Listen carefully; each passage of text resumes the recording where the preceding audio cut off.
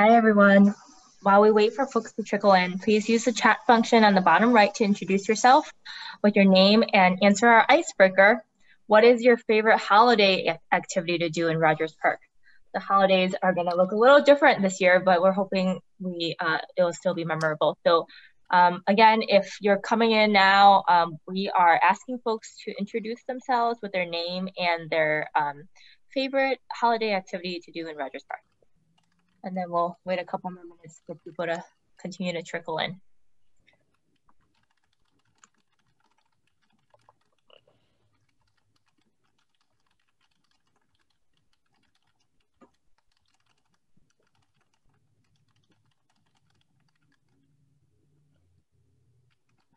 I do also want to note that we have closed captioning available as well as Spanish translation.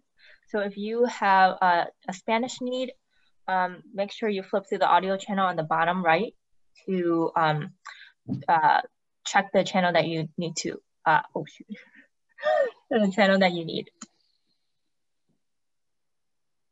Oh, cool.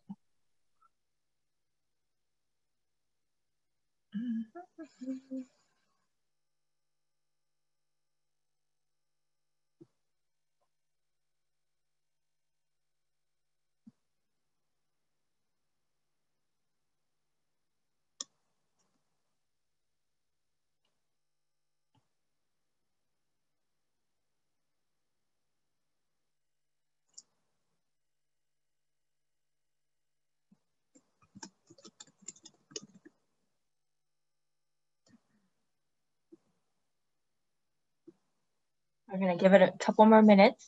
Um, thanks all who have already started. Um, please put in your name and your some of your favorite holiday activities in Rogers Park while we wait a couple more minutes for people to trickle in.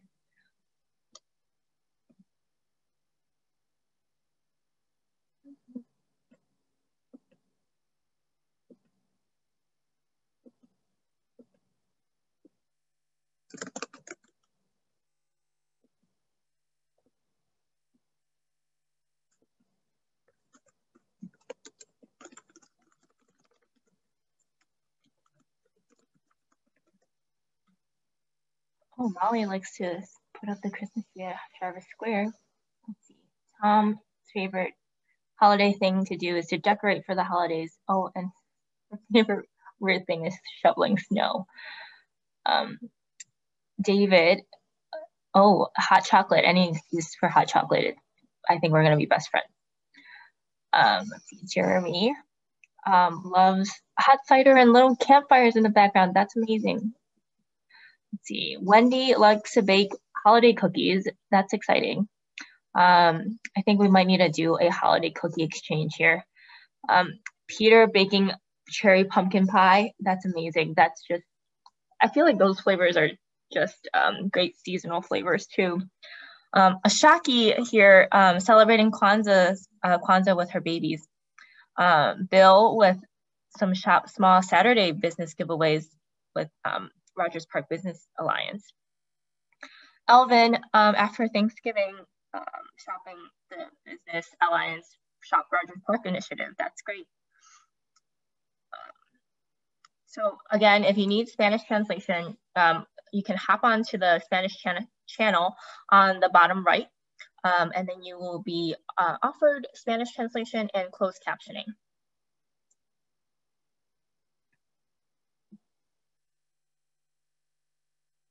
There we go. All right, um, we can get started. Um, so my name is Debbie Liu, and I am the associate here at Metropolitan Planning Council, MPC, an independent nonprofit change organization committed to a better, bolder, more equitable Chicagoland region. Um, so while we are making um, this webinar available on Thursday evening, um, we are so thankful for all of you to have joined us tonight um, virtually. This webinar is being recorded and will be posted on our website shortly after this concludes. Um, it is also being live streamed on the Alderwoman's Facebook page, so there are many opportunities to tune in.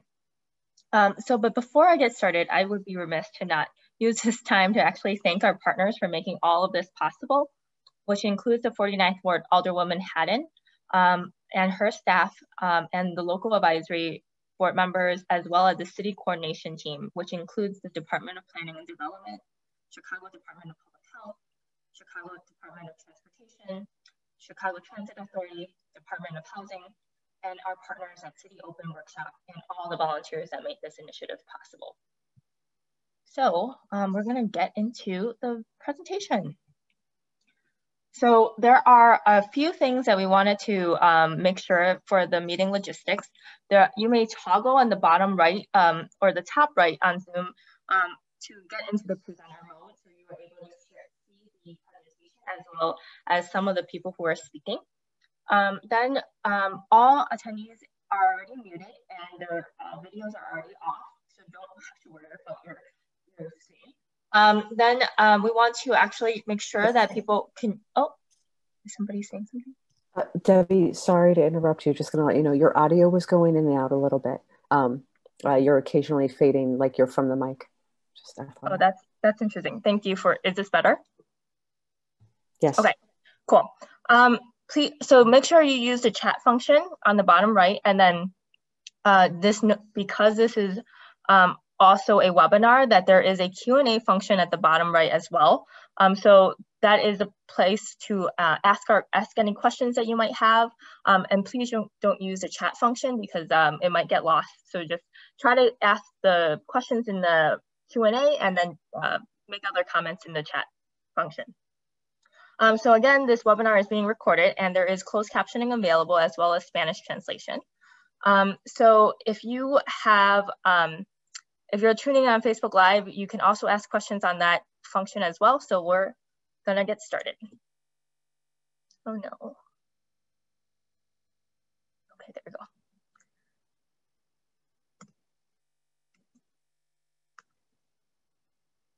So even though we are gathering virtually, we do want to um, make sure that this is still being gathered as a community. Um, so we do want to commit to the same respect that we give each other when we are together in person. Um, I do ask that all of you join me in accepting these values that are listed on this screen for the duration of this meeting. Um, it will guide our time and our um, opportunity to know and meet each other um, during this time. So uh, please use the chat function with care um, and we ask as we ask questions and we participate in this webinar. So it's guided by respect, act with your best intention, and to listen deeply and to challenge with care, and to honor lived experiences as we um, use it as data and commit to be stewards of this space together. So how are we're gonna use this time together um, for the next um, hour and a half, um, we are going to recap our CDI activities to this date. Um, we're gonna do some demographics polling based on um, interactive platform called Menti. Um, and then we're going to do a summary of all the community proposed scenarios at the Howard Ashland site, and then go into some possibilities for the community development with practitioners um, and community partners. Then we're going to end with consensus polling on guiding principles for redevelopment of this site. So I'm going to turn it over to Alderwoman Hadden to talk a little bit more about the site itself and um, the history and what's next. Great. Thank you so much, Debbie. And can you guys hear me all right? Yes. Thumbs up there. Fantastic. Um, so uh, thank you to everyone for being here. Uh, thanks for everyone who's submitted a survey, attended a meeting, um, shared your thoughts, reached out to our office or worked with our partners. Um, I, you know, a special thank you um, to the Metropolitan Planning Council, um, special thank you to uh, you know our folks at NeighborSpace. Um, uh, you know, a special thank you to um, all the organizations that have worked with us um, uh, on designing an inclusive process. And I would also say um, meeting the additional challenges um, that we faced during the pandemic. the site that we have built this process around, I'll say, from uh, the beginning of, of serving as alderperson, so coming into office last May. Um, this is the, the one uh, area in our ward where we've got city owned land. Um, I know from residents uh, in conversations with residents for several years from living here, but also and, and now serving as your alderperson for about a year and a half, that we've got a lot of needs in the ward, and economic development is one of them. Um, economic development, opportunities for jobs, but we've also got a lot of other things that we know are important to a healthy and thriving community. As we work with the new administration and the Department of Development um, in their broader planning um, for the city of Chicago, we thought it was very important to make sure that we got in front of um, any development plans, any city plans about what should happen at this space. So the Howard and Ashland site is city-owned land. Uh, it's technically two lots. It's approximately an acre. Um, we it's two blocks from the Howard CTA hub. Um, there was an RFP for the site in 2014. So the space has been uh, vacant and city owned for some time. Um, I'll, I'll say that the previous proposals on this site have, have included some housing, they've included some commercial space. Um, after, you know, some remediation was done to the site and uh, some of the RFP processes didn't kind of pan out, we were really fortunate um, to have the Peterson Garden Project and community members um, working with our Rogers Park Business Alliance and other organizations to create uh, the Hello Howard Community Garden. Um, so right now, if you're familiar with the site, um, if you walk down Howard Street past this intersection, um, for many years, it's been a vibrant community space, a great green space, um, produces a lot of food and produce for people, um, and has been put to, to really good use in, in, in kind of uh, bringing folks together. But it is city owned land, and they're, um, even in my short time in office, we've already had a couple of, of, of developers interested in putting forth proposals. So we're fortunate to have uh, this process and to have our partners work with us because it was important to me to make sure that we as a community got to have a say in what we want the site to be and what we need and, uh, you know, as we near kind of the end of this part of our process, you know, we'll be taking all these principles and what you'll get to see reflected to you today and have conversation about um, our, from our participatory process, um, some possibilities of what we can have here, which we will put forth um, to the city um, and to developers. And so that instead of us responding to proposals, we'll be telling people what we want to see and what we think is going to bring us um, what we need as a community. Um, so it's really exciting to have been able to pull off this process. Um, I appreciate everyone who's put time into it and know that, you know, this is the end of one phase, um, but, you know, this isn't, this isn't the end of us working um, as we come with the right solution of how we should develop this property um, to best serve the residents in the 49th Ward. Um, so thank you, Debbie.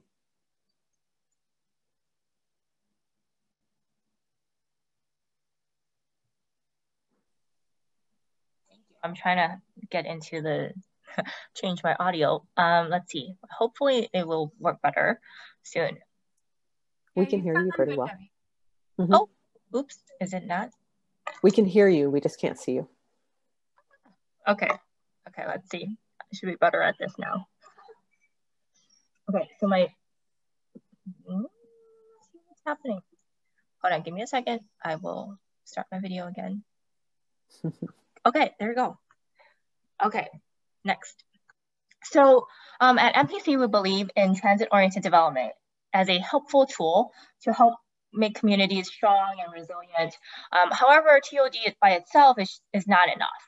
Um, so we do want to make sure that equity is part of transit-oriented development and that some of the principles of equitable transit-oriented development includes things like affordability, density, transit, walkability, and mixed use. So even with that, we want to ensure that it centers the voices of community to avoid the negative effects, things like um, displacement from neighborhood change, um, or other negative uh, impacts that might happen. So um, with that, um, our corridor development initiative Uh-oh. I'm trying to, oh, there we go. Our corridor development initiative is an interactive um, series of interactive public workshops that are designed to plan proactively in the context of market realities.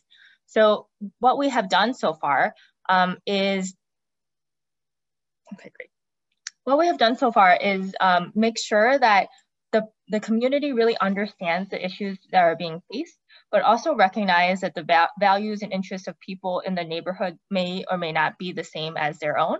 Um, and also to develop a set of priorities and, and, potential plans for the significance of that site.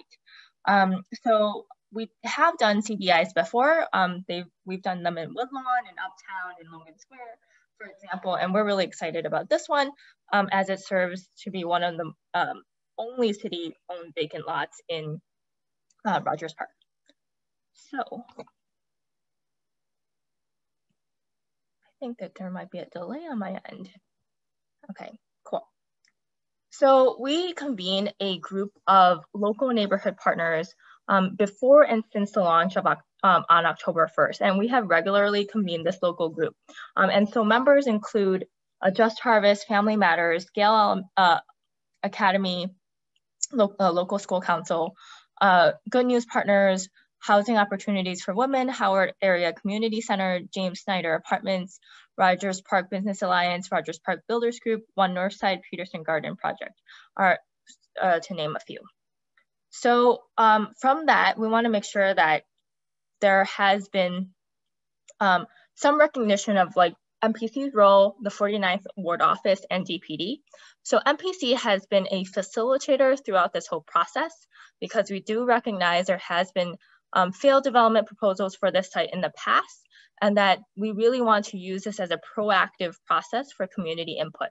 So we did have a uh, kickoff meeting on October 1st, and then throughout the month of October, we held a series of design workshops that were virtual, in-person, um, do-it-yourself, and some surveys and focus groups.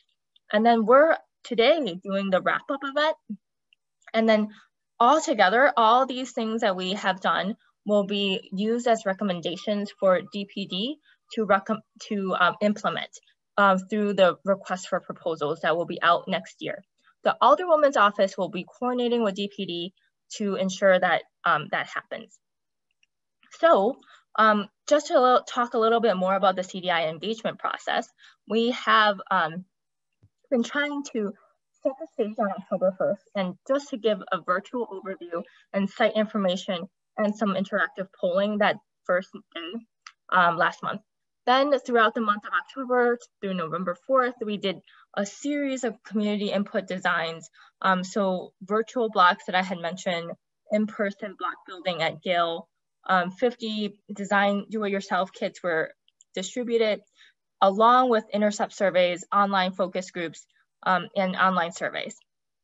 So then today, what we're doing is um, making sure that this forum is uh, talks about the virtual scenarios and the feedback as well as the voting uh, roundtable discussions and some of the lessons learned from other uh, similar cases.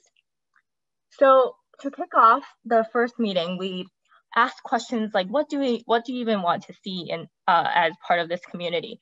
And we've seen things like affordable housing, community garden come up repeatedly, um, as well as other things to remind people of like what they want to do or see improve in this area. And many different uh, ideas came up. So then um, during that second meeting or that second design workshop, we were able to actually dive a little deeper. So um, here are some examples of what people have said. Uh, residential, garden, roof, um, multi-story, mixed use, um, so it ran the gamut. And here are some other examples of um, things that were a little bit less pra pragmatic and more uh, creative, including on the bottom, which is um, a Gale Elementary stu student who decided um, the best use for this site is a water park. So here, uh, I'm just gonna provide a high level overview of what has happened um, during this uh, engagement process. So we had over 200 kickoff surveys uh, received. And this is a combination of online and intercept surveys that were translated into English, Spanish, and Swahili. Then there were over 100 visual preference surveys, which were part two of the uh, surveys, as well as um, nearly 100 design workshop attendees. And this it was a combination of three online workshops, three in-person workshops, as well as some um, focus groups and uh, do-it-yourself kits that were distributed. So who participated? So originally we had more, a lot of Jarvis Square residents, um, and over time um, we had a seen a 15% increase um, with Rogers Park um, as people who were living in north of Howard area, which is the most proximal to the site, as well as a 15% jump in the African American uh, demographics through uh, intercept surveying that uh, now reflects more of the Rogers Park residents demographic makeup.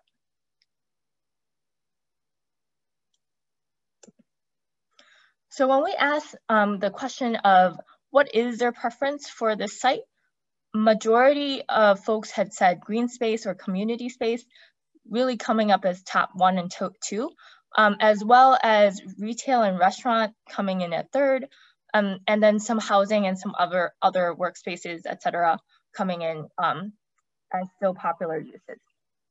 So then when we asked, um, are there local needs such as services, retail options, or amenity that you would like to see in, as part of this community?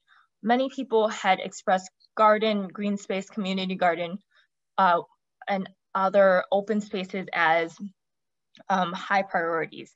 And this was through online survey and intercept surveying. Then there were questions about what what is needed to continue to support the existing residents. And it all came out to be um, uh, things like clean streets and safety, something to increase a sense of safety in their neighborhood. Um, and then the second survey that we did was the visual preference survey, which provided more details about what um, people really wanted to see when they met, when they said housing or outdoor space or amenities or uh, economic generators. So the first thing that came up repeatedly is the outdoor space. So green space, um, and then followed by amenities, uh, sorry, followed by economic generators, followed by amenities, and then housing. So for housing, 65% um, preferred the affordable mixed use as something that they want to see in terms of housing things that they did not want to see were high rises or mid rises. And then for outdoor spaces, 80% um, of folks had mentioned that they wanted garden and greenery, followed by nature and park. Um, the least wanted to see, they did not really want to see permanent or temporary structures that were built that could lead to something uh, different. And then amenities, people really wanted to see green roofs as uh, utilized for the site um, as well as youth programming and uh, cultural gathering spaces, gallery spaces, but they did not want to see um, things like Amazon lockers or a laundromat. And then in terms of economic generators, um, the top thing, 80%, urban farm and job training became really top priorities for this question um, and, and makerspace. What they did not want to see is uh, boutique gyms and salons. So now we're gonna turn it over um, at, or go into some quick Menti polling. Um, so we just really wanna know who's in the room. Um, votes are anonymous. Um, so we're gonna get started through menti.com. So if you can pull out your phone or um, a website, um, if you can click menti.com, um, and then we will get the code for you. Hey guys, so the code is at the top of the screen. It is 2109949. We can drop that in the chat as well. So we'll give everyone a minute to log on. Um, yeah, and start sharing and we'll go through some, some questions. Great to see that people who are um, logging on or who are here today have participated in the past, um, as well as, you know, people who are just joining now. Uh, yes, it's menti, M-E-N-T-I dot com. And it's also on the top of this um, screen right now. The code is 2109949. Um, I think things are still changing. People are still trying to put in their code. Yeah, we'll give people another minute or so because I know it takes a minute to get out your phone or pull up another screen.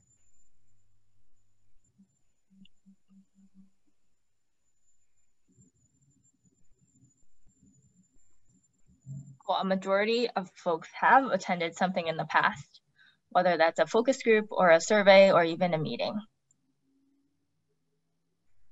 Okay, we can go to the next question. Um, and if you didn't put it in, it's okay. Once you get into it, you'll you'll see the next question. Um, so the question is, what is your role in Rogers Park? Do you live here? Do you work here? Do you do both? Um, or you just really love it here?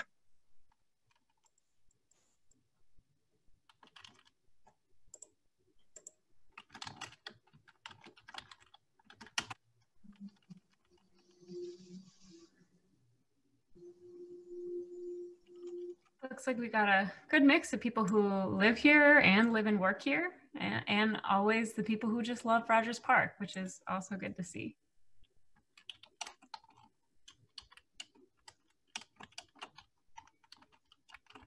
All right, let's try to get to the next question.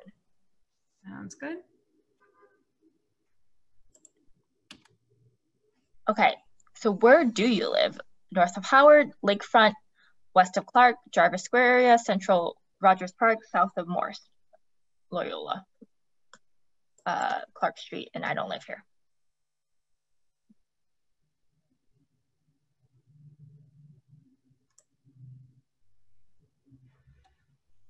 Oh, love seeing these dots come in. I know, it's so fun. Great to see folks from the north of Howard area and a lot from the Jarvis Square area. Good amount of folks, folks from Lakefront and West on Clark too. So it's nice to see kind of a good distribution.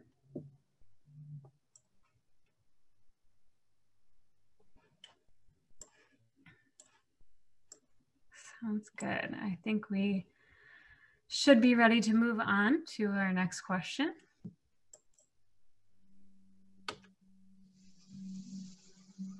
So, if you live in Rogers Park, do you rent or own? You rent or own or none of the above? Maybe you don't live in Park.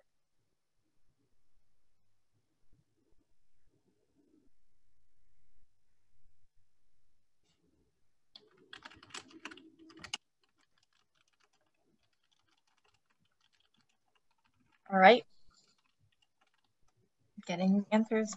Yeah, it's great to see. We got uh, Most larger people own. percentage of owners than I think we had um, in the process as a whole. So that's you know interesting to see.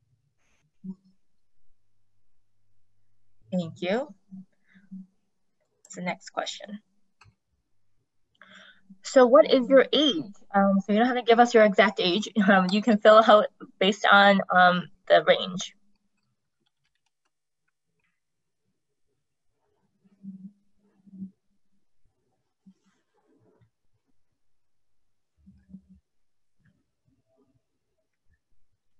So it's looking like we got uh, a lot of people in the 51 to 64 range, as well as the 31 to 50. Um, you know, but a good good spread.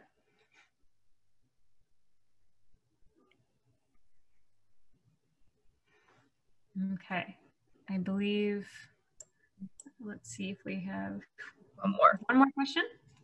How do you self-identify racially? Um, so African American or Black, White, Asian, Latino, or Hispanic? Uh, two or more, or none of the above.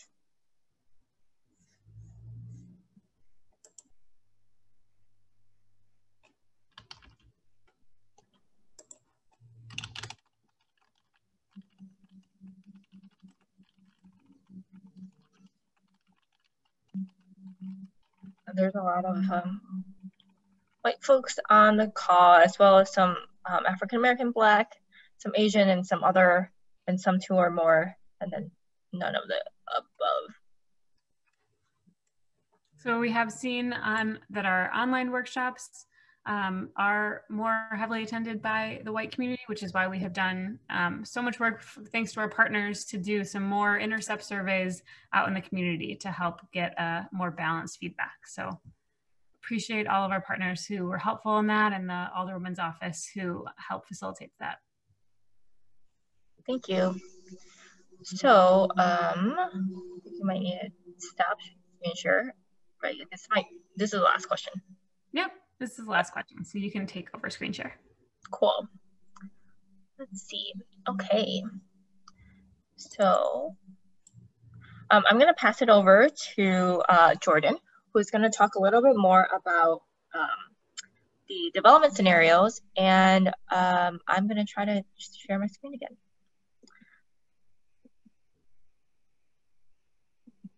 Oh, shoot. There we go. Great. Thank you, Debbie. So we're going to shift gears a little bit and talk about some specific scenarios that came from all this outreach over the last um, four to six weeks. So if you joined us for some of the design sessions, none of these will be verbatim necessarily. It's not an exact copy. This, these four scenarios are, are coming from all the outreach that we did. So the virtual design sessions, the in-person, um, the do-it-yourself kits, the in-person surveys, the online surveys. These are kind of a, a, an attempt to combine all of that feedback into sort of four distinct development scenarios. So I'll talk about each scenario, kind of what it is, what, what type of things are on the site, um, and then move to maybe some potential cost or development challenges and talk about some um, positive health indicators as well. So before we move into those specific scenarios, just talk a little bit about the financial assumptions for some of the numbers that you'll see pop up on the screen. Um, any of the construction costs or revenue generation are based on kind of typical Chicago trends right now. There is an estimated land acquisition cost of one and a half million dollars. That's based on an estimate from a 2014 um, RFP that the city did. Um, it's not unprecedented, depending on the end use, for the city to sell land at a discounted rate because of a lack of specifics that hasn't been factored into any of these scenarios. Similarly, there's potential for secondary, um, you know, things like tax, tax credits, otherwise, depending on the end use, but also hasn't been factored in here just because um, of a lack of specifics for these scenarios. And finally, the development cost that you'll see for, for these different scenarios, that's just a, um, a construction cost, um, just what it costs to put a building on the site. So, oh, sorry. So the first scenario, existing scenario, right? Um, a significant amount of feedback, as we've talked about, has revolved around maintaining the community garden in place as it exists. So that's really what this scenario is showing. Um, each of the four scenarios that you'll see include a significant amount of community garden retained in some capacity. I'll talk in a second about potential feasibility issues with maintaining the entire site as community garden. Um, so you'll see a slide like this after each um, of the scenarios. It's, you can kind of see the cost considerations across the top in the boxes, and then some bullet points with the different feasibility or challenges that might come up. So for this scenario, um, we know that the operating cost is around $30,000 a year currently. Obviously, there would be no development cost, right? You're not building something new on the site or maybe some minimal changes. Um, but that being said, the land acquisition is something to consider. That's that one and a half million dollars. Um, I'll also be talking about opportunity cost for all these scenarios, and that's kind of a it's a it's a sort of the cost of choosing one thing over another. So a great example of that is like you know most of us don't have unlimited money to spend at the grocery store. You have to pick what goes in your cart, and choosing ice cream instead of milk that's the opportunity cost right of not choosing something so we'll talk a little bit about maybe how to balance that in the other scenarios. Um, some challenges here, like I said, the land acquisition, some entity, um, the city or otherwise would need to heavily discount or donate the land in order for this to be a feasible scenario.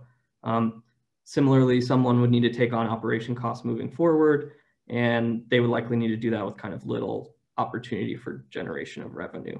So next slide, please. The health impacts here are obvious um, for gardens and green space, right? Improved air quality, increased access to fruits and vegetables, opportunities for physical activity, all of these different things um, are evident as positive health impacts. Next slide, please. Scenario two, um, So this is really kind of a garden with an urban farm or incubator um, and a housing component. So obviously still, um, you know, you can see in the image a large area of community garden is retained. To the north of the site, kind of along Howard, you can see the blue and yellow. That's commercial space on the ground floor and residential above. That commercial space might be something that serves the urban farm. You know, maybe that's incubator space, um, shared kitchen, job training, something along those lines with a residential component on top. And then to the south, the red blocks, um, retail, again, that's not really traditional retail in this scenario. That's more maybe like a market or sales aspect that would serve um, the, the urban farm and the, the community garden space. Next slide, please. So this is what that might look like. Um, this is totally theoretical, not really any commentary on color or materials or anything like that. Just trying to give an idea of what the shape and the massing might be. So this is looking from the corner of Howard and Ashland. Um, so for this scenario, scenario two, estimated development cost around $7 million. Um, plus the land acquisition. The opportunity cost here is kind of in the middle of the road relatively. Um, that, you know, there's a lot of numerous services and uses that could serve different residents at different times between the residential and the commercial and the retail. So that provides a lot of um, a lot of options for different people. Some challenges here, um, a lack of, oh, I'm seeing a question. So the 30K operating cost, that's um, what Peterson Gardens has said they spend approximately annually right now for the community garden space. So things like um, maintenance or purchasing supplies, things like that. Um, and so now back to scenario two, um, some challenges, you know, you saw there's no on-site parking for that commercial component. Um, that could be added for additional cost, or maybe there's an agreement. Um, the, um, sorry, and why the land has to be acquired. Um, Debbie, do you want to just go back to the, the community garden slide for me? We could talk about that really quickly. So I think maybe Torrance answered this to one of the Q&A questions. Um, this is city-owned land right now, and there have already been kind of developers that have reached out.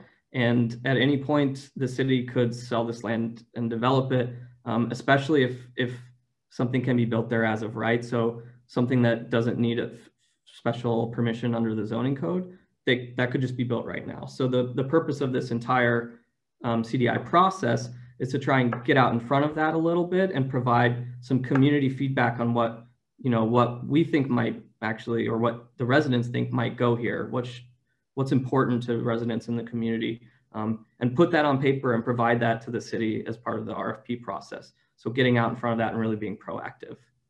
Um, so if we talk about back to the scenarios, some challenges. Sorry about the slides sliding around. Um, it's relatively low density still, might not be that attractive, especially for a site of this size and scale in the city. Um, typically, and I'll talk about this for the other scenarios also, the often in mixed use, the residential component kind of subsidizes other pieces. So the rents from the residences help lower the rent or the cost of building out for, let's say, community space or retail space, um, something like that. So try to make as much money with the residential as you can to help with other spaces. Some health, health impacts here. Again, you have the garden and the green space, right? All those positive health impacts. Also additional health impacts with a mixed use building like this. The incubator could provide opportunities for employment. Um, there's stable and affordable housing. There's positive health impacts there as well. Next slide for me, please. Scenario three, kind of similar to scenario two, just a little bit of different pieces. Um, you, again, you have most of the community garden being retained here, right, kind of on the south end of the site. The mixed use portion pushed to the north along Howard. That includes the pink, which is kind of community space. Um, that could be maybe something that's complementary to the field house across the street. Maybe it's related, it's facing the community garden, it's job you know, training space, or maybe on something we heard a lot about was a pool in the community. So maybe that's a pool in that space. Um, also, there's a small retail component. Um, sorry, I can answer. IE is like example. So residential is, is housing. Um, so there would be a, a, small red component of retail, and then the yellow would be um, a residential component. So a mix of um, um, mixed income and, and unit types. And then also this this scenario includes, you can kind of see in tan, um, a hardscape or a plaza. which spills over to the adjacent, um, the adjacent vacant lot. Uh, that would kind of activate the site and maybe draw people in from, from Howard Street. Go ahead and go to the next slide for me, Debbie. This is what that might look like really quickly. Um, you know, community garden on the right, community space and kind of glass on the left and a residential on top to get an idea of what the shape of that might be. So kind of similar development cost here, around $8 million, land acquisition, similar opportunity cost, and also really similar challenges to the previous scenario, a lack of on-site parking, um, you know, similar health impacts also. Um, you have the stable and affordable housing, you have retail, which can provide lower cost food or even just food accessibility in general and employment, and then the garden and green space, positive health impacts. Um, scenario four, um, so this is kind of a combination of the previous, all the previous scenarios. So again, you're seeing a lot of community garden space retained in kind of the center of the site in green. There's a retail and commercial component that's pushed to the north on Howard Street again. Um, that might be maybe a larger scale retail tenant. Um, you know, something like an Aldi is something that got brought up quite a bit with commercial on top. Maybe that's more community, you know, economic generator space, job training, or more traditional office. And then also a residential component in yellow um, pushed to the south along Rogers that kind of matches. You can see some of the buildings in white, um, the existing adjacent residential buildings. Next slide, please.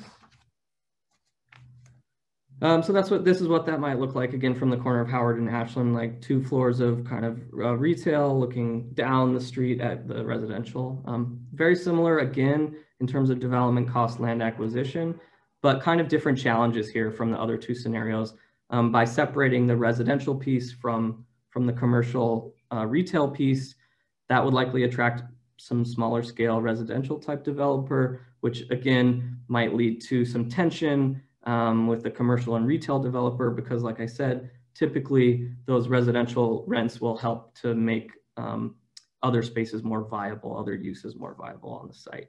Um, go ahead and go to the next slide. So, and there's similar health impacts too, right? Once you get into a mixed use with a, with, you know, a le level of affordable housing, um, there's community space, which improves the social connection. Um, the gardens are mostly remaining, right? A big piece of them. So you get all those positive health impacts. And then again, the retail um, could increase access to food, cheap food or employment. Um, next slide, please. So really quickly before we move on to the panel discussion, um, just thinking kind of globally about some lessons that we've learned. We've heard a lot of feedback over the last six weeks that the garden is an important asset. And we've also heard that there are secondary aspects that you saw in the other scenarios um, that can play a, a role in future development and thinking about some of these broad objectives and goals and principles as we move into a request for proposal process um, next year, like Debbie had talked about. So an obvious one, maximize retention of the publicly accessible community garden, right? Another one, um, all the scenarios you saw the whatever new building, whatever that was, typically was pushed against Howard Street um, to maintain that kind of Howard streetscape as you walk along. Third, providing some kind of community-based economic generator, you know, whether that's an incubator or an urban farm or other type of community space. It was pretty across the board in a lot of the feedback that we received. And last, some kind of residential component is pretty typical in these scenarios and in the feedback, um, you know, a mix of market rate or affordable and of different unit sizes, one, two, and three bedrooms. Um, next slide. So last, again, you know, along with all those kind of global lessons learned from those scenarios, there's a lot of challenges that pop up that are kind of similar across any type of, of these scenario. Um, you know, the land acquisition cost, right? The city owns the land. If someone wants to develop it, they would need to purchase it. Um, and typically that needs to be offset, hold on, offset by, by the development, right? Money made from the development would offset that cost.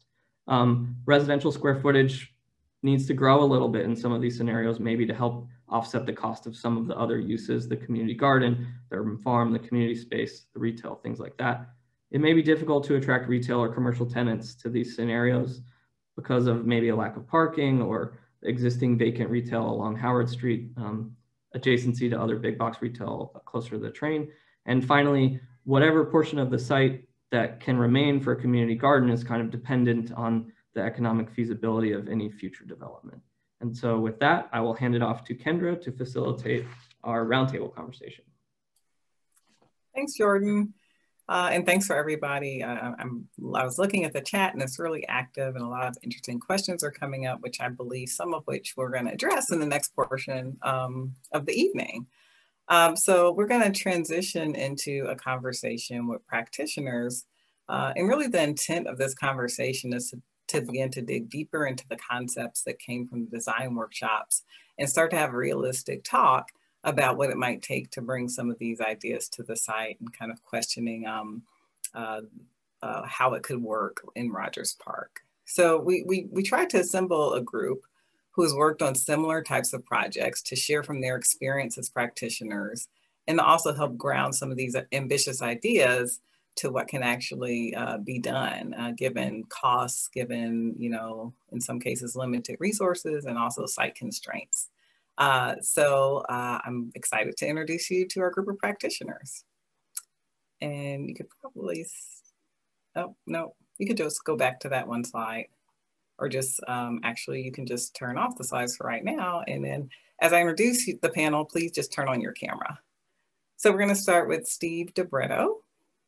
Steve has been the executive director of the Industrial Council of Near West Chicago a nonprofit economic development organization on the city's west side since 2012. ICNC owns and manages Make City, a 416,000 square foot incubator for modern urban industrial for modern urban industrial firms and is a joint venture partner for a new food and beverage manufacturing in incubator called The Hatchery. Uh, and Steve and his family uh, live in Rogers Park. So it's great to have a Rogers Park um, resident as part of this um, conversation. Elisa, Fournier has served the Chicago Botanic Gardens Windy City Harvest for 20 years. She has played many roles over the years, including garden designer, landscaper, school and community garden coordinator, youth farm coordinator, manager for the apprenticeship and Veggie X programs, and as a partner to like-minded organizations. Wendell Harris is the Vice President of Lending Operations at the Chicago Community Loan Fund. Prior to this role, he served as Director of Lending Operations following a brief tenure as Senior Loan Program Officer for CCLF. In the past five years, he's underwritten investments at CCLF that leverage over 253 million in real estate transactions that strengthen lower wealth communities. And Ben Helphand has more than 20 has more than a 20 year career focusing on me mechanisms for communities to have a direct hand in the creation and stewardship of the built environment. Ben is the executive director of NeighborSpace, a nonprofit urban land trust dedicated to preserving and sustaining community managed open spaces in Chicago. NeighborSpace shoulders the responsibility of property ownership for a network of flower, vegetable play, and play in prairie gardens across the city so the community groups can focus on gardening and community building. So hi everyone and welcome. Thanks so much for joining us tonight. So I'd like to start with a broad question to the group. Um, you've had a chance to uh, look at the four concepts I know a little bit earlier today and Jordan just walked us through them. Um, I just like to start off with getting just general impressions. You know, was there a concept that stood out to you? Um, are there uh, are there something that triggers um, thoughts about similar projects that you've worked on? What did you find interesting? And what did you find maybe would be uh, a strong concept? And whoever wants to start can just jump in.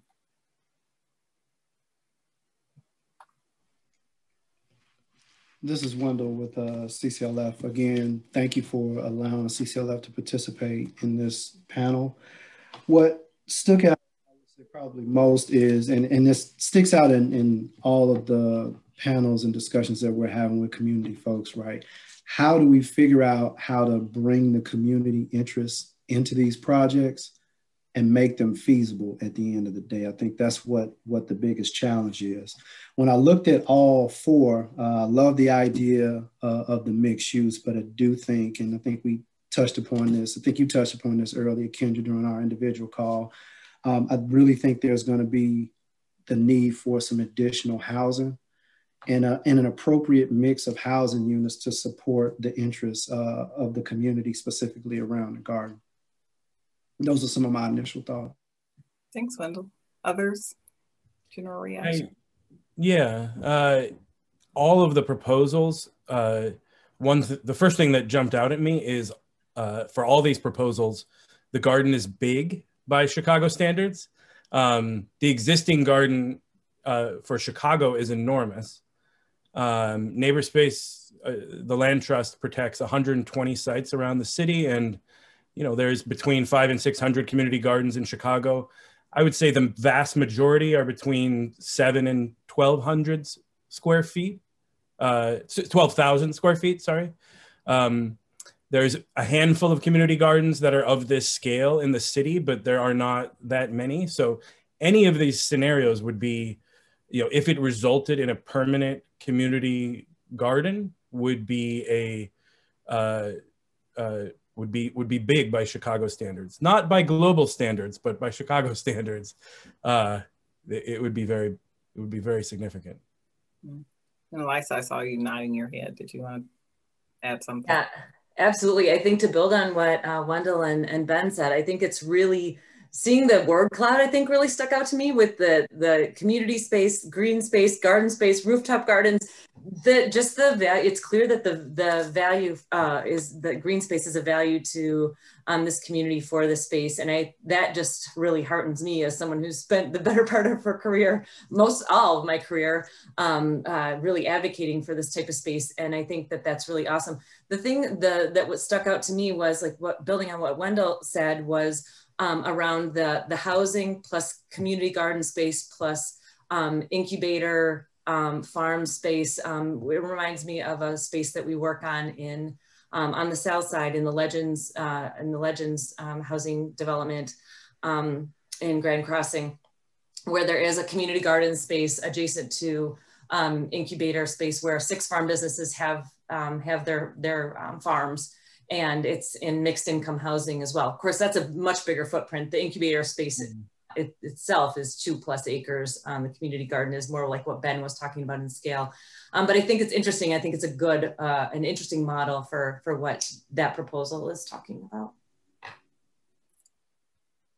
Um, all of the proposals I think have some really interesting components to it. One of the things in terms of size that strikes me is for an incubator, the size of the uses we're talking about are, are pretty small. So we generally, when we're thinking about incubator feasibility, think of about 30,000 square feet or so being uh, a number where you start to think that it can be economically feasible, that it can generate the rents that would normally be uh, required for it to operate uh, sustainably without subsidies from somewhere else. So, um, you know, it may be that um, the, the size of an incubator that we're thinking about um, could be a challenge. Yeah, yeah. Thanks for bringing me out. Oh. No, I was going to say one other thought uh, is that the I think the proposals came off to me as the functions were a little bit siloed, uh, uh, being that you know, there's a plaza over here and then the community garden over here, or here's the community garden and here's the commercial production. Uh, in practice, a lot of those things are often kind of merged or blended together. Uh, and so you could have a, a, community garden that included, you know, 30% of it on the corner was actually more like a plaza. And then there would be a, even a pathway walking through. I saw that people actually were interested in pathways in one of the questionnaires makes me think of the El Paseo project, which is a path that has a community garden enveloping it. Um, and then, uh, you know, along along similar lines, uh, the it's not like you have to choose between community garden and commercial farm. In practice, it's a it's kind of a, a spectrum, uh, and there's many different ways that people have figured out how to do it in Chicago. Um, some are very, you know, intensive, you know, it's intensive production. Uh, and there's not a lot of uh, uh, uh kind of just people using it as a community space. Uh, but there are other places where it's much it's much more blended, and you could have you know a portion of the space that has some commercial activity. Uh, people are using it for job readiness training. Um, it's not going to be a huge amount of jobs, but it brings that element into the into the conversation in interesting ways. At Neighborspace, we've started to call those community farms Oh, Ben, you're breaking up a little bit. I think you're frozen. Uh, so it's kind Can you hear me, Ben? You're you're frozen, so maybe we'll give you a chance to to reset a minute. Um, but let's let's shift over to Steve. Uh, I know scenario two talked about the working farm, the business incubator, and food related potentially incubators. So Steve, are there are there lessons learned from the hatchery or your other experience incubators that may apply? Hybrid between the two. Yeah, I think there's but a couple. If Ben can't hear us, we may need to mute him. Yeah, can um can somebody mute Ben until and send him a note that he's breaking up? Okay. Sorry, Ben. We'll, we'll come back to you, Ben. Um, so I live uh, right around the corner from the site, and we've gardened there for a couple of years. Um, and you know, uh, where where I work, we recently built a food and beverage incubator called the Hatchery. The reason we built it is because there were a bunch of very small food companies, um, people who baked cookies, uh, baked bread, made salsas, things like that, and they would try to get their products into stores. In order to do that, it needs to be made in a licensed, insured, inspected food grade facility, right? And so there's there's not much of that around. So we saw a demand for this and we decided to build an incubator and, and cater to that target market. And then we're a nonprofit economic development organization. And so our goal is to, to help people start businesses and grow businesses and then to place people who are looking for jobs in those businesses. So when we talk about neighborhood economic development, you can either attract businesses, you can retain the businesses you have, or you can sort of grow your own, right? There's the entrepreneurship uh, assistance portion of it. And so one of the lessons I think we learned is there's just a few main questions, right? Like what is the benefit of an incubator space or some place that has uh, combines job training and, and helps people grow businesses and adds to the number of jobs in the neighborhood? That's, you know, what is the benefit of that? um, healthy economy and, and, includes ways for people to build wealth for themselves and for their families and to create those jobs and an incubator should make that easier the second big question is really do we need it is there an unmet demand for the space i don't think we know that yet i think it's interesting that so many people think it's a it's a good idea and it may be. So then one of the first things we do is just sort of scan and look around and say well who would use it?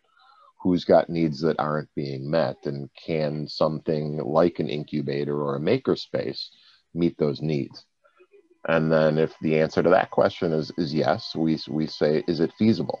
You know successful incubators are supported by the community that they're in right? They meet that need. They've got local people delivering the assistance to the businesses uh, as an advising team and they've got an economic model that works um, you know, within a few years, it should be able to, to break even, right? At 75 or 80% occupancy, uh, hopefully. We know that there's a lot of retail vacancy on Howard. So, but we're not talking about, I don't think, a retail incubator. We're talking about something else. So that's not necessarily comparable, but the way you do that, uh, the way we did it was to get outsiders to, to sort of question our own assumptions mm-hmm. so that it made us rethink you know what we thought were good ideas that we had. And and it helped us. We we completely overturned we we shrunk the size of the spaces we were going to build. We uh, looked at sort of different operating models for how we were going to help the entrepreneurs. We had focus groups and individual discussions with prospective users who taught us a lot about what we needed to build. And then finally whatever we do you know we're going to learn things afterwards that we can't anticipate now. And so the degree we, that we can build in flexibility and the ability to adapt as we learn those things that we can't know now would make it easier to, to succeed down the road when you can meet the the needs that, that we can't anticipate now yeah i think that that's great um, obviously doing the kind of feasibility test, but also bringing in potential users to the conversation to understand how to adapt a space so it is um, meeting the, the right need. I just want to build on, on, on what you said about uh, thinking about job creation and, and, providing additional opportunities within within the neighborhood. I know that's definitely something that's come up a few times in our conversations with community um, and how, you know, any kind of economic development at the site uh, could increase uh, positive activity uh, and potentially uh, jobs for residents in, in, in the neighborhood and in uh, Rogers Park overall. So Elisa, I, I, I, was hoping that you can talk a little bit about um, how the projects that you've worked has, have addressed that need um, of, got, of job creation, um, in, in some cases, you know, creating a social enterprise. Sure. So um, the Windy City Harvest Department of the Chicago Botanic Garden in 2018 opened up a facility called the Farm on Ogden. And that was kind of grew out of years, decades of being uh, engaged in the North Lawndale community in different capacities and trying out different pilot um, programs in different spots. So what we have found really works, and it's really great to have it all be in one spot, is kind of creating a continuum of opportunity. And looking at all the partners that you have listed on this, it seems like a continuum of opportunity already kind of exists um, in the synergies between the different community partners that are engaged in this project. Um, like we think about when we think of continuum of opportunity, we think about opportunities for young people to have employment, paid employment opportunities after school and during the summer. Um, that's what we do with our youth farm program. At the farm on Ogden, there's a youth farm, um, a, a what portion of the farm is dedicated just to the youth farmers. Um, we think about um, transitional employment for men and women who are transitioning out of the justice system.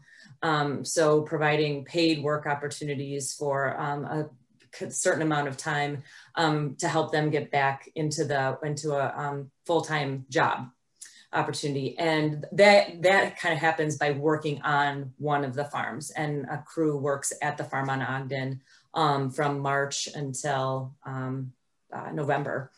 Um, and then we have um, graduates of those programs can also um, participate in our, um, our, apprenticeship program, our urban agriculture apprenticeship program in cooperation with City Colleges of Chicago at the Daley College satellite campus. Interestingly enough, there's a lot of Rogers, I mean, just in our classes graduating in 2020 right now, there's quite a few Rogers Park residents that have been, uh, that are part of that class, which is interesting, who are now looking on, looking to pursue their urban agriculture career path. Um, so interesting timing and synergies could be um, could be realized there. Um, and then the farm on Ogden is also provide has a retail space on site, so it provides a job for graduates of the program, but then also um, retail opportunities for people in the neighborhood and training for graduates who are going to go on to work in the retail space. Um, there's also um, a very small uh, commercial kitchen like Steve mentioned, for just very, very small scale, like uh, one 30th of what the hatchery does at the hatchery, um, literally one teeny little um, commercial kitchen space, but would be more on scale with, I think, what you all are talking about here um, for um, uh, rental space for um, people who are doing like what Steve was talking about, trying to scale up their home home-based business. Um, and I think that that, and then we also have our incubator farm that's located not at the farm on Ogden, but I think there's a really interesting, uh, typically our, our incubator farms are a place for um, our farmers who have graduated from the apprenticeship program to um, hone their skills and start to get their business skills and growing skills on par at the same time typically we have about 5,000 square feet, about an eighth of an acre for each of those beginning farm businesses. So if you just want to think about that in scale with the um, with the, the site that are, is here, that's typically what we allot for that. Um, I, I will leave it at that for the moment and take more questions in the Q&A. Yeah, thanks. That that's that's really great, and it's super exciting to hear there could be some Rogers Park residents in the pipeline who may be able to work at a future use if they're mm -hmm. working agriculture. Uh, so Wendell, you're the money man. Uh, I want us to just spend a little bit of time thinking about like what potential resources could support uh, any of these mixed use concepts. Sure. Well, I'm not the money man. I work for an organization that has a, a few sources of capital, again, which is the Chicago Community Loan Fund, also known as CCLF. We've been in business since 1991, serving Metro Chicago, and got our start really focusing on cooperative housing structures. In 1991, during that time period, we saw the need for a source of capital to come into the market and specifically support that space. Fast forward 2020, we're now a $100 million fund that looks at all types of asset classes, anything from vacant land acquisition for large scale future development to small one to four unit projects to mixed use, community facilities, you name it, for whatever reason, we want to try to figure out some type of resolve ultimately for the people in the community. So coming full circle to Rogers Park, I think there are a, a host of different uh, sources out there. I think what needs to be done is, and I think uh, Eliza talked about it, the continuum of opportunity that exists here in Rogers Park. There's so much opportunity specifically right here with this particular space.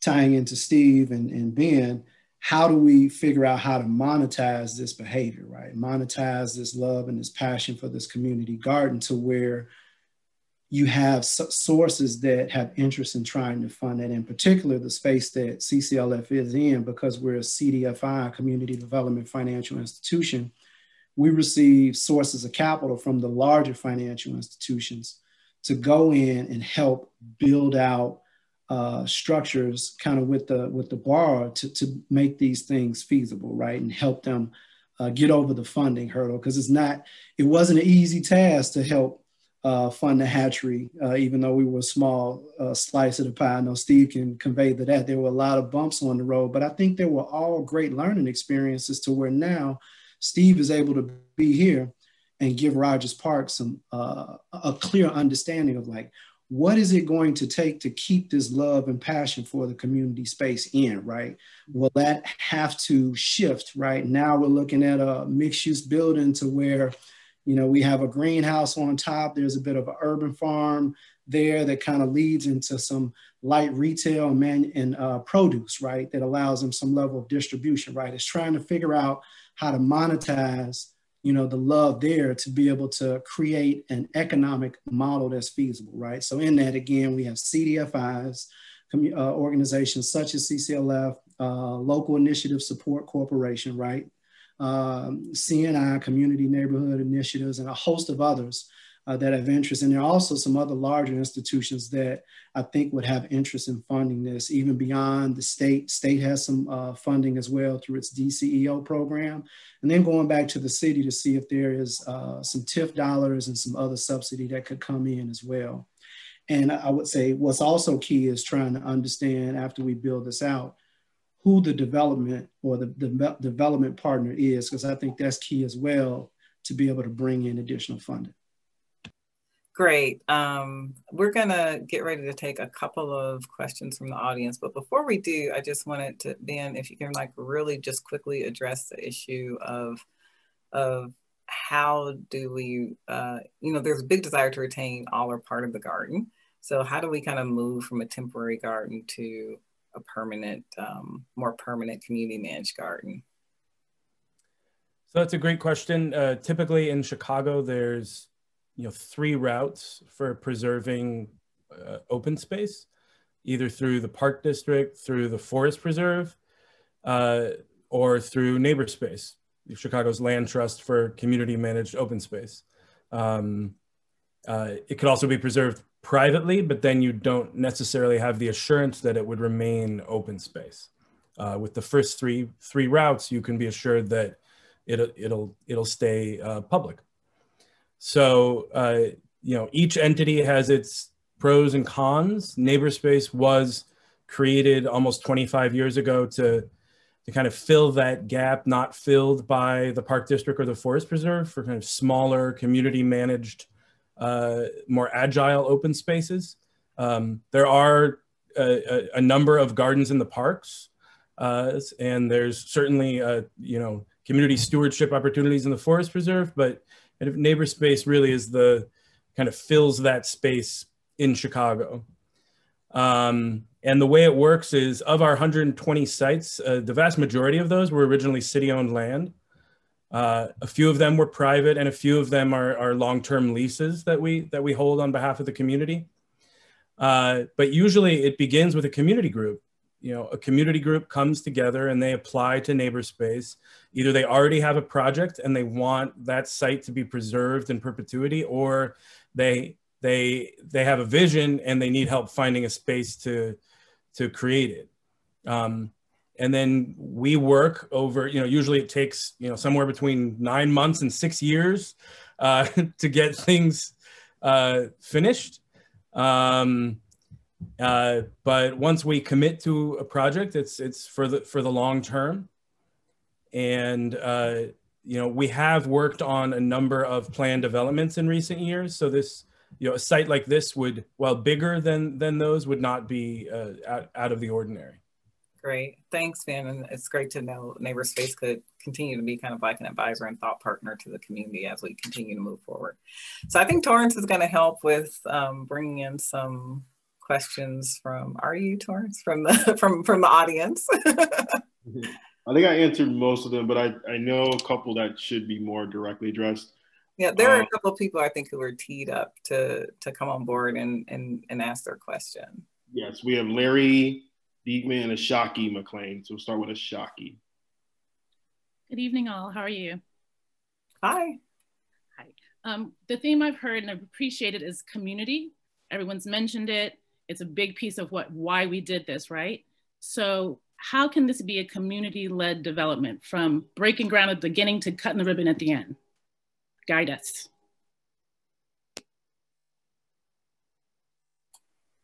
Panel, anyone want to take a stab at that? I can give one or two thoughts. Um, that's a great question. Thanks for posing it. I would stretch it out even further. I would say that the community-led portion happens even well before the groundbreaking. Um, it's starting with what we're all doing now. Um, and then it, it goes into figuring out how the community can play an active role uh, either in the use of the site, possibly in the financing or ownership uh, of the site, and what they imagine the role that this parcel plays in a larger economic development plan for the neighborhood, right? We all know it doesn't live in isolation. So how do we wish it to um, interact with the spaces around it? And how do we envision that the next several years um, of, of, of further development, you know, could benefit from this? Um, I would say that the, the more effort we put into the phases here, um, probably the better the payoff will be down the road um, in terms of making it uh, more feasible for community to have meaningful input and get what we want out of it in the site. So the hard work begins now, um, but it pays off. Great point. I was going to add, in terms of the community involvement in the open space portion, uh, this project is in a very good position, you know, compared with the other ones I've worked on none of those had an existing garden. So it was always, uh, you know, a developer just kind of circling in a space saying there's going to be a group here, but but they hadn't actually ever talked to a community group. Um, this group already has hundreds of people involved in the open space. So, I mean, my advice would be there, there needs to be a strong leadership component out of that group, out of the existing uh, Hello Howard organization, and probably a little bit bigger to include some of the other concepts, uh, the commercial agriculture or the uh, the plaza space and other other other amenities, nature play that people might want. But that that group should be the voice of the community throughout this process. Great. I think we have Larry who's next. Yes, Larry Diekman. Larry, you there? You want to take yourself off mute? Ask yep, I did that. I did that. Great. Perfect. Which, which of the scenarios can work best as a catalyst for the existing businesses along Howard Street?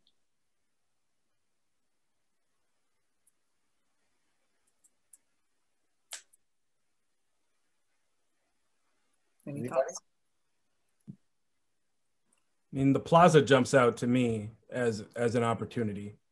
Um, there weren't a lot of details on the plaza, but uh, I feel like that could be created as a community plaza, flexible performance space, food food trucks, uh, pop-up opportunities, uh, you know, a hub for community festivals. And if the organizers of the plaza are mindful to weave in existing businesses into that, uh, it could be a you know a powerful mechanism.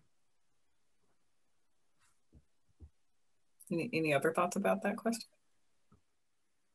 I don't know that any of us are really equipped to answer it right now, but I think it's it's a great question, and it's an example of the ones that we would ask an economic analysis of the of the the uses to answer. Right, I would assume that the more people who live close by, the more potential customers there are for businesses uh, on Howard.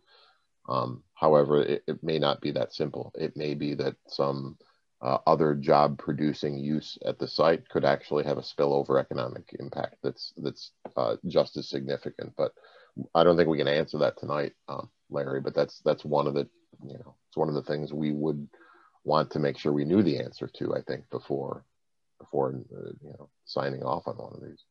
Okay, and then we're yeah. going to have Robert pose our last question because we have. Robert, are you there? Yes, ma'am. How's everybody doing this evening? Good. So my question is, what strategies have we seen work to bring livable jobs for our residents?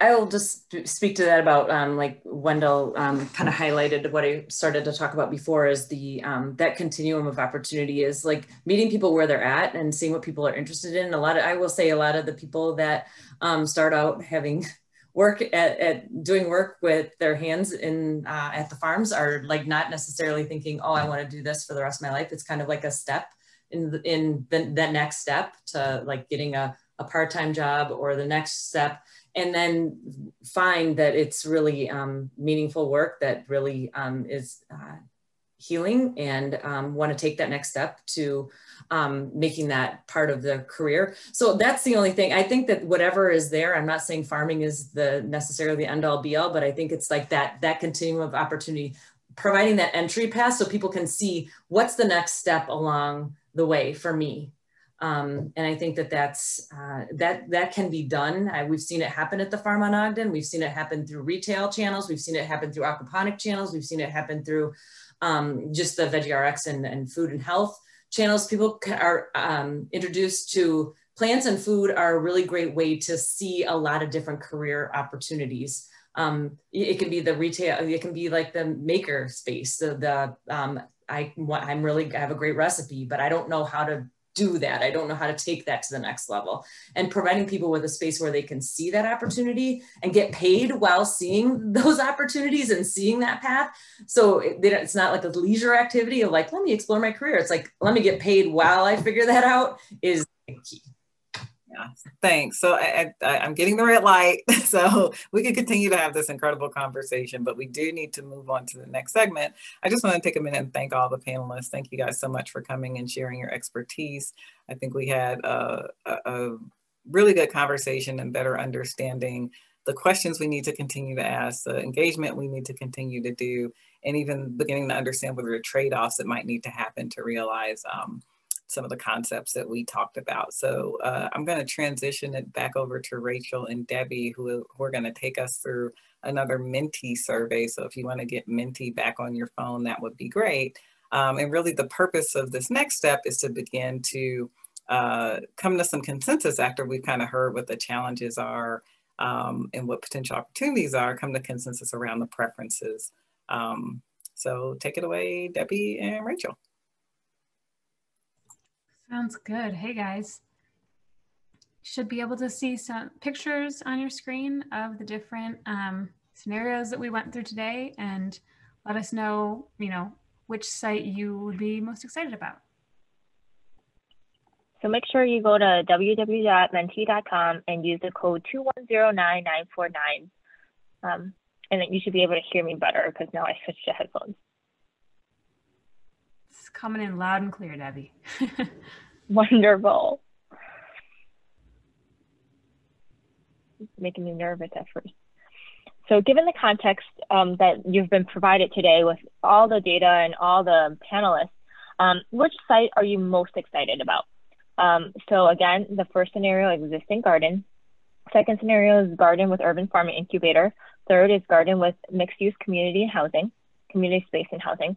Um, and then number four is scenario where a garden with mixed use retail and housing. it looks like we got a lot of excitement about scenario two as well as scenario three, which is great. We'll give folks. Um, Um, just Molly, I, I see that there's a question on housing. So um, housing actually is not um, low on the general surveys. Actually, it came out high, but then when we did a visual preference survey, we pulled out housing specifically, and that one came out low um, when it came when it compared to other uses. But housing overall did not was not a low um, indicator on the survey. Uh, I think that question came up multiple times. So um, it seems like there's a lot of love for scenario two uh, with the urban farm incubator and housing. Do we want to go to the next question?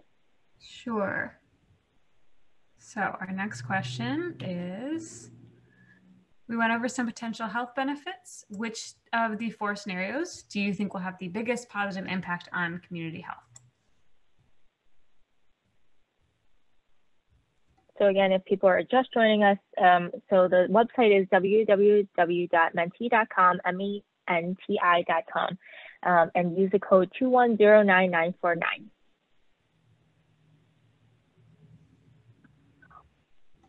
So again, we went over some health, um, the potential health benefits, which of the four scenarios would have the biggest impact on health, on community health from your perspective. Seems like again, it's a scenario two coming in hot. Yeah, it's great to see some kind of consensus come out of these discussions. Um, it's really helpful to have our panelists talk through some of these things as well. Let's go to the next question. Okay. So, so who stands? Oh, go ahead. who who stands to benefit from the health benefit uh, health impacts of all four scenarios? So um, this is an open-ended question, um, and it will come out as a word cloud.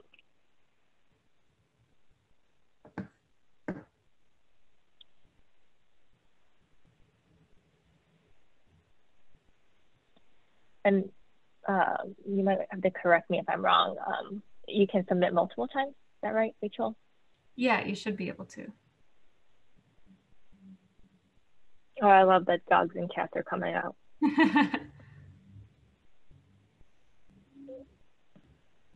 Definitely seems like the community, residents, neighbors um, are big winners in these scenarios, um, as well as, you know, people who need jobs, um, nature, all those are important.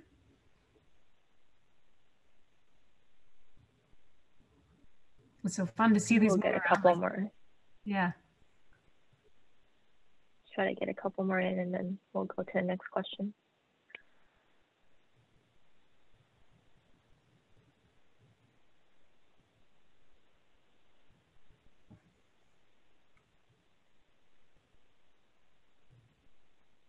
Okay, it seems like responses have sort of leveled off. So if you have anything to add, last chance to hit submit, and then we'll move to the next question,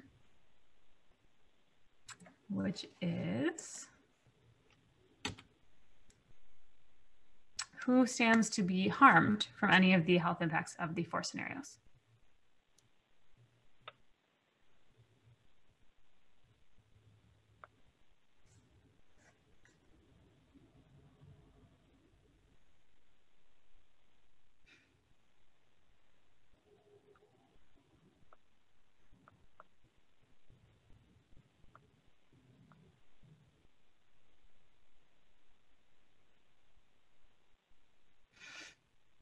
People who don't garden, people who are anti-dogs and anti-cats.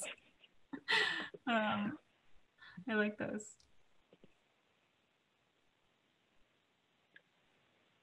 You also want to note that community gardeners are coming out too. Yeah. And refugee farmers, low income folks.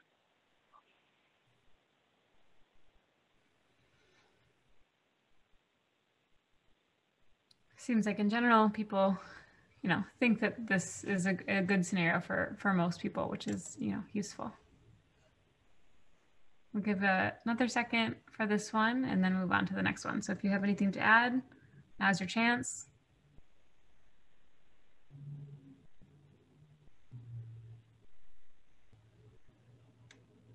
Okay we're seeing some more come in, so I'll give it another 30 seconds. I think maybe took people to a second to think about this. But I see um, impacts of gentrification is, you know, from a green space is important. Um, houseless folks, I think that's also really important. Okay, we will move on to another question. So given the context that you've been provided today, what uses are or should be the top priority for this site? Mixed use housing and commercial retail, cultural community nonprofit space, green space, um, uh, off, uh, sorry, sorry, green space with economic development function, office and business incubator, uh, a combination of two or more.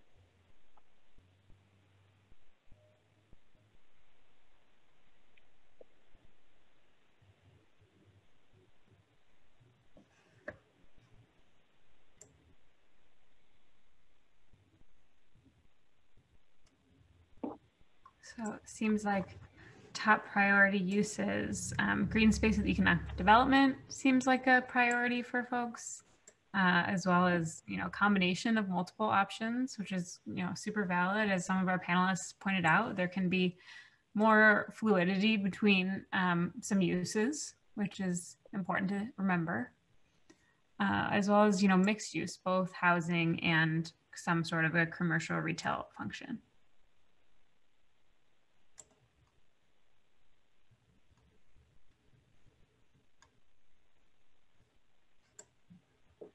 Okay.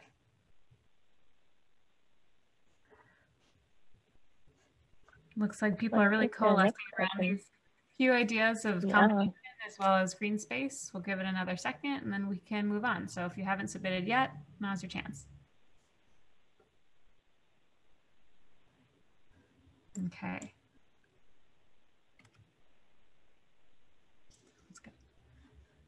So given the context that we have provided today, how much of the space should be developed?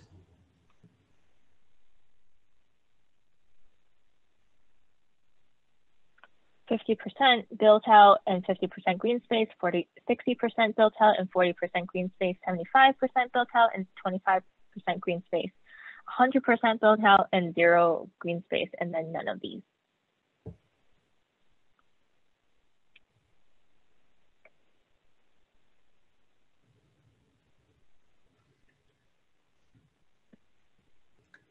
Seems like a, um, I'm assuming that none of these maybe would want to see a larger percentage of green space, but we've also got a large percentage of people who want the 75% built out and 25% green space. So a little bit more space for housing and economic development, you know, keeping in mind that what Ben said, the garden is already, you know, quite large. So um, interesting to see kind of where people play out on this. Um, pretty across the board.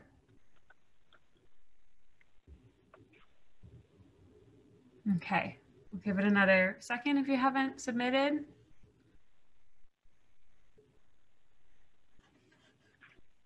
And we're gonna move on. So this question is, are you open to adding more density to the site by increasing housing, retail, or commercial space? It's yes, no, think also unsure.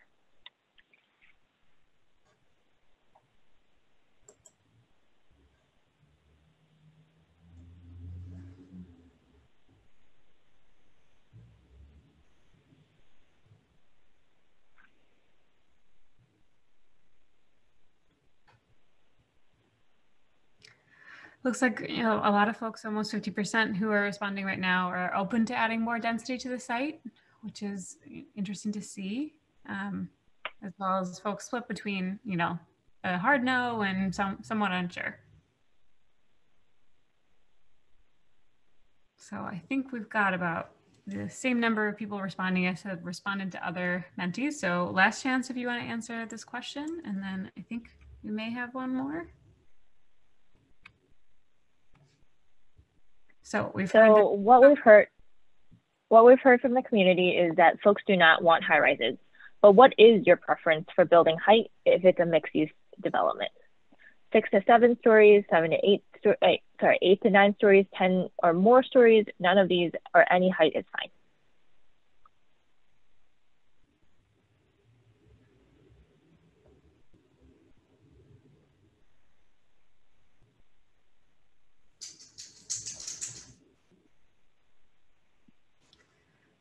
Looks like uh, a lot of folks think that, you know, some of these stories are, are too high and that, that none of these is common. Um, six to seven stories, I think also common as our kind of lowest ranking option. I think that, you know, what is considered a high rise um, is different for a lot of people. So it's interesting to see that, you know, given these options, um, how people respond.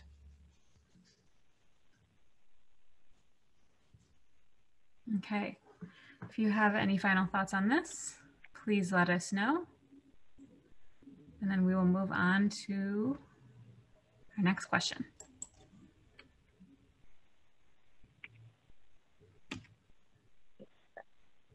So while people have mentioned that luxury units should not be on the site, what type of housing uh, should be considered instead or is needed?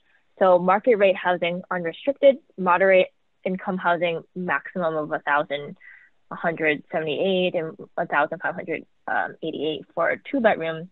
Uh, a low income, which is maximum of uh, 972 for a two bedroom, a mix of A and B, which is market rate housing and moderate income, a mix of B and C, moderate and low income, a mix of A, B, and C, um, market rate, moderate, and low income. And this should be also based on what you've heard today.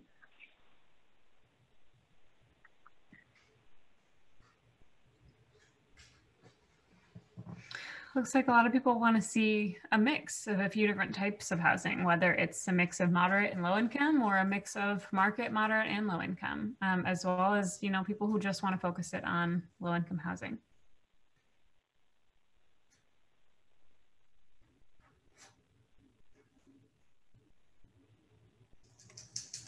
Okay. Final, final call for this question. I know we um, are about out of time, so I want to keep things moving. So. So given the context that you've been provided today, what is your parking preference? Um, we need to have parking open to the public at this site. Parking solely for a portion of any residential or retail units at this site is sufficient, or we don't need any parking on this site.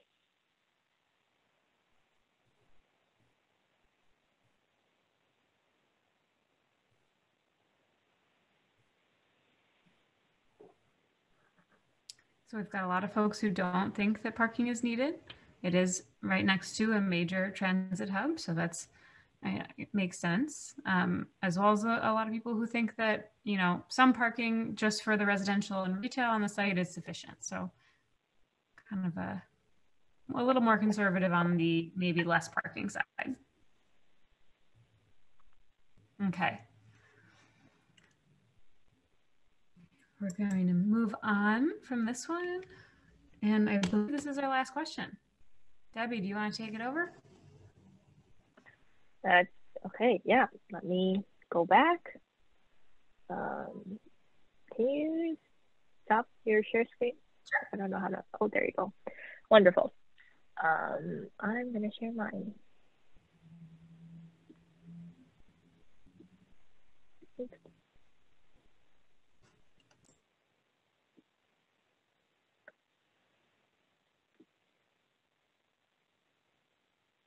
All right. So um, we do recognize there's been a couple of or a number of uh, Q&A questions. So um, maybe we'll take some time to answer like a handful of them now, uh, even though um, we are over time. I do want to recognize that there are a lot of questions that have come in. Um, so we can, should we, do we want to do this now or do we want to wait until at the very end if people wanted to stick around?